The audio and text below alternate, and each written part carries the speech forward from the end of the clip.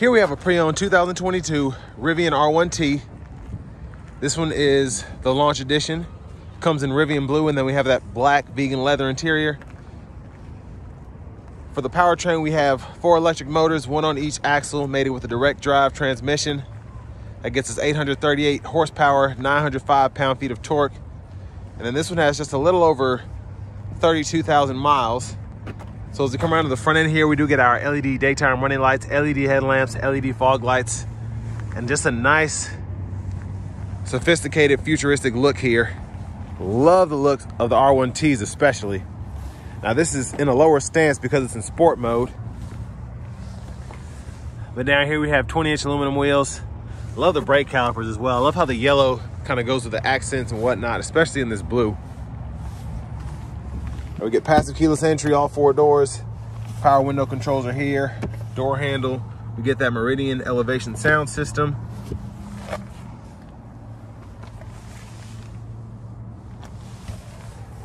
And here's our power driver seat, four-way power lumbar support. And love the design of the seat as well. It looks nice, feels nice. And the badging throughout, the trim, everything just looks very premium. But I have the seat up front adjusted for someone of my size being 6'3 with longer legs. So we're gonna go ahead and hop back here, check out this space.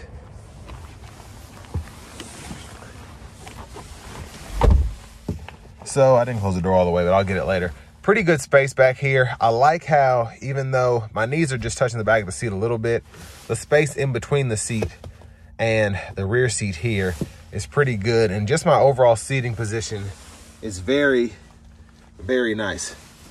Three-stage heated outboard seats. We have the quad zone climate control so you can adjust for either side back here. There's a view of the front from back here. Love the glass roof. Middle seat folds down. Bottle holders are here. Storage right in there. Top tethers for the seats, car seats, excuse me.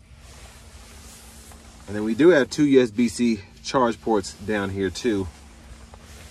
And then a port in the back of either headrest there. And I like this kind of Alcantara-like headliner. But let's make our way towards the back. So there's a way that you can unlock the, the cargo area here from the actual screen. Once it is actually unlocked, excuse the wind, hit this button here, this actually releases the latch. And there's your gear tunnel right in there. And you also have 12 volt accessibility here. I think there's one on each side, which is nice.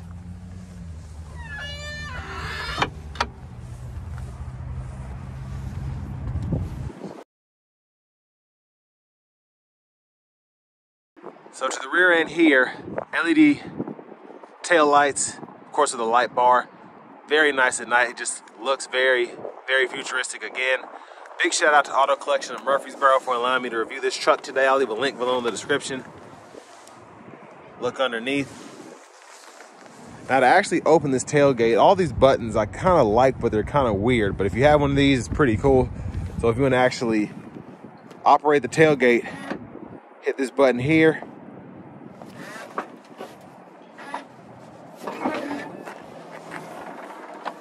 And then if you want to operate the tonneau cover, which is right in there, you can hold this. So pretty cool feature to have, I think. And then you just hold that to get it all the way out. And the tire pressure, or the air pump, excuse me, is right there. And then you do have two 110 volt three prong plugins right in here, which is fantastic. And then to put this back up, close it, and then you can open or close it either way. But I also like the, the light bars in here. Very, very nice, very bright. Now where this gear tunnel is open, just gonna take a quick look from this side. So there's a 12 volt over there. There's actually a 110 on the right side. I expected it to just have two 12 volts, but it's awesome that so far we have three three prong plugins within the vehicle. And just a quick look from this side. And then our front passenger seat. Great adjustability with that four-way power lumbar support, just like the driver's side. And I will say, the Meridian elevation sound system, pretty phenomenal. I tested it out. But you also have the speaker right in here if you want to take that out. Which also, I'm assuming sounds pretty well, pretty good, excuse me.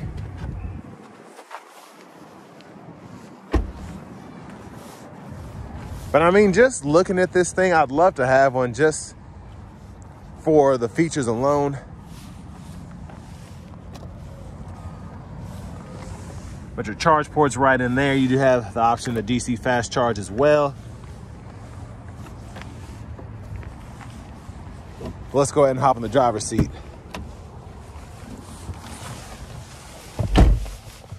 So I'm assuming this is a vegan wrap steering wheel and it's very quiet. You're not getting any feedback from the interior for the sound of the horn, which is, I like that. It's weird, but I like it. Now to the screen here, this is the access and security page so I can unlock the gear tunnel, close the tonneau cover, operate the tailgate, open the charge port, open the hood, which I'll do that just so we can take a look in there. And then you can unlock, lock the control, or vehicle from here, garage door transmitter and all of that. Now you do have, again, like I said earlier, quad zone climate control, so I can go in here and do that. But before we get into that, I'm gonna go through all the shortcuts down in here, which I love how they had this set up. So navigation systems here. For audio, you have your FM radio, Bluetooth, Spotify and all that. And then this is how you save your presets and whatnot for the radio, which I like that setup too. And then here is where all the cool stuff is. So you can check out the elevation, trip meter, even the battery temperature, which I don't know another vehicle that does this, which is just great to see. And then you can even see how hot the motors are there, tire pressure monitors, compass.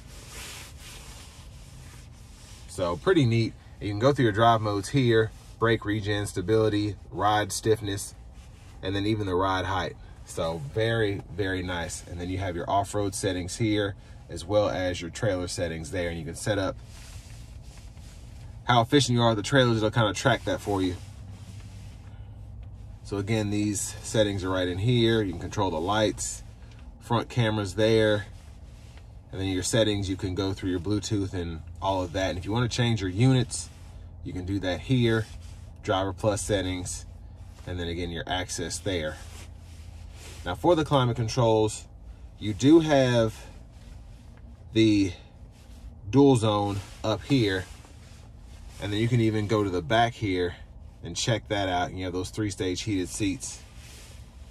But for the front, you do get three stage heated cool front seats, and then you have that heated steering wheel toggle right there for the driver's side.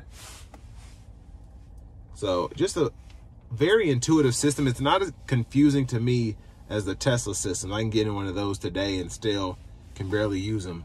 But here it's just nice.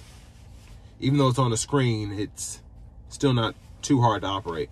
Now, one of the cool things about this is with the vents here, since you can't control them directly, you use the screen here and you can control whether they're open, closed, and what direction they're going. So really like that. Backup cameras there, guidelines follow you. Just turn the steering wheel. You have that 360 view too. Now your cup holders are right in here. So just hit this, those come out. And then hit either one of these. Access to the center console cubby space. There are two USB-C charge ports down in the dark there.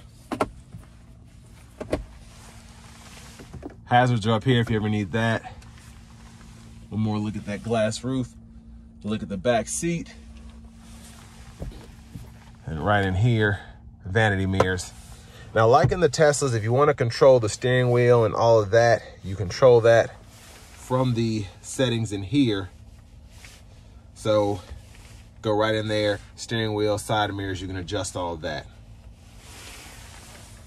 Now back to the steering wheel. Those scroll bars can basically be used for the music and the just general settings of things when it's just in its normal state.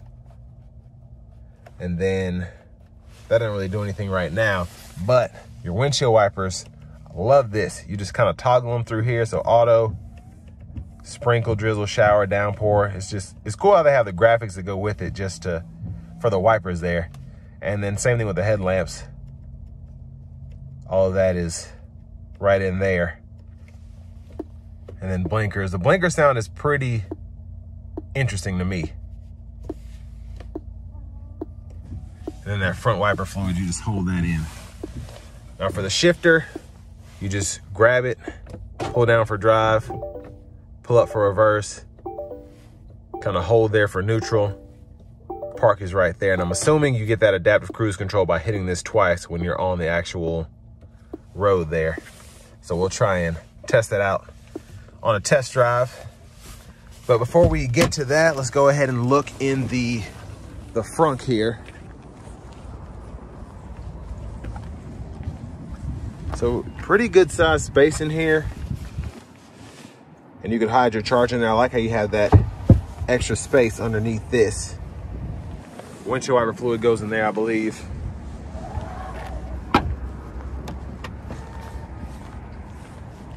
Hopefully I did that right. There might be a button to close it, probably is.